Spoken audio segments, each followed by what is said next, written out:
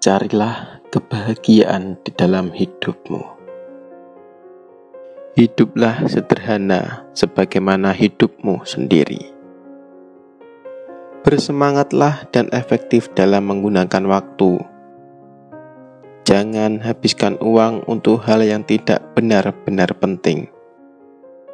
Uang tidak menciptakan manusia, manusialah yang menciptakan uang. Bagaimana kalau gagal dalam usaha? Jangan putus asa. Bangun lagi dengan kiat baru. Begitu seterusnya hingga Anda menemukan formula paling pas untuk sukses. Jika ingin sukses, jangan berpangku tangan saja. Semasa muda, bekerjalah habis-habisan.